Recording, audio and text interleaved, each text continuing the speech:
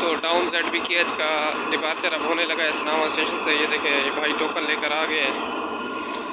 तो बस अब ट्रेन जो है चलने के लिए तैयार है। तो देखते हैं फिर down Z B K H special का डिपार्चर नब्बे पंद्रह के साथ सलामत से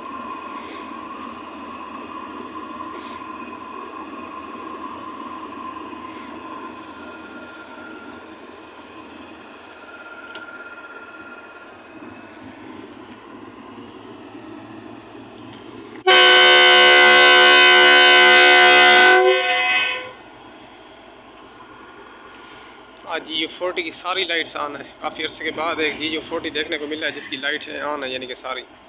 नीचे वाली दोनों लाइटें ऑन है।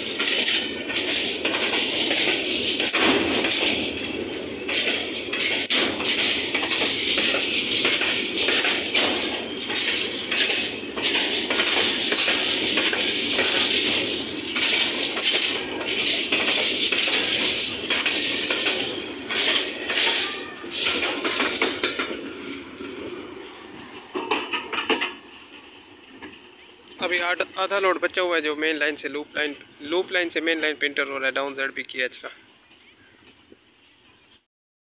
अल्लाम वीवर्स आज डेट है चार पाँच मार्च 2024 टाइम हो चुका है शाम के पाँच बजकर दस मिनट्स वन टू सेवन आप सनामा से पिछले स्टेशन गुरमानी से चल रही है। आज इसके साथ लोकोमोटिव आ रहा है एच पी ट्वेंटी एट जो सेवन एट और पहले मेरा स्टेशन पे जाने का मूड था, लेकिन जब मैंने सुना है कि सीट सिटहत्तर आ रहा है, मैंने कहा, बस आज इधर ही सही है फिर तो वैसे अठहत्तर की बहुत सारी वीडियो मैं बना चुका हूँ और ये परमानेंट लिंक पर चल गया और ऐसा समझ लें कि बिल्कुल लिंक से हटा ही नहीं रहा इसको। कुंदिया शेड वाले सेम पावर को चलाया हुआ है लिंक पर परमानेंट लिंक पर। यानी आज वन टू सेवन आपके साथ आ रही है तो कल वन थर्टी टाउन के साथ आएगी। तो अभी जो है ना ट्रेन को दो चार मिनट देर है। तो अभी आपको बताता हूँ एन एल सी लोकोमोटिव के बारे में। यानी एन एल सी का मतलब है नेशनल लॉजिस्टिक सेल और ये पाकिस्तान रेलवे के जो है प्राइवेट लोकोमोटिव्स हैं। पाकिस्तान रेलवे के अपने नहीं हैं, ये एक प्राइवेट कंपनी है जिसका नेम है नेशनल लॉजिस्टिक सेल तो उन्होंने जो है ना किराए पर दिए हुए हैं पाकिस्तान रेलवे को और वो घंटे के हिसाब से इसका किराया लेते हैं। और जो भी गाड़ी यानी कि एन एल सी लोकोमोटिव के साथ लगी हो तो वो हाई प्रायोरिटी पर चलती है। यानी एक्सप्रेस ट्रेन को भी अगर रोकना पड़े तो वो मजबूरी में रोक सकते हैं, लेकिन एनएलसी वाली गाड़ी ज़्यादा नहीं रोकते। यानी ज़्यादा से ज़्यादा अगर उसका वे भी करवाया जाए, यानी घंटा या दो घंटे बस, इससे ज़्यादा एनएलसी लोकोमोटिव को नहीं रोकते। यानी एनएलसी के तकरीबन दस ग्यारह लोकोमोटिव हैं, जो पाकिस्तान रेलवे के अंडर हैं, जो कि पाकिस्तान रेलवे ने जो किराए पर लिए हुए हैं, और ये कराची शेड को अलॉटेड है सारे लोकोमोटिव्स।